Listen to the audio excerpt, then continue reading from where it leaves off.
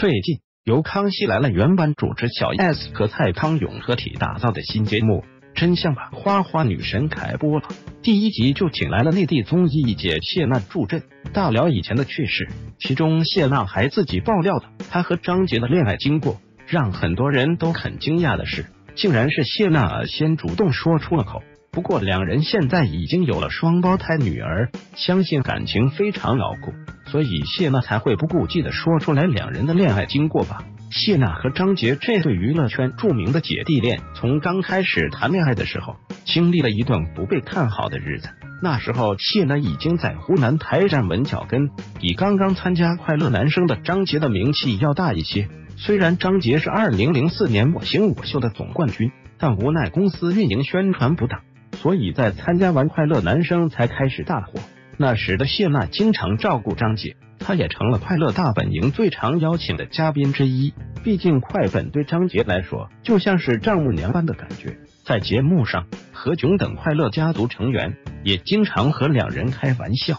越来越多的人慢慢接受了这对姐弟恋。谢娜在《真相版花花女神》中自曝和张杰确定关系的片段，那时两个人有了深入的接触，对彼此都有了感觉，而张杰却迟迟没有表态。于是谢娜就在两人空闲的时候邀请张杰去西湖边上散散步。那时谢娜对张杰鼓起勇气说：“你看我挺幽默的，咱俩要不要试试？”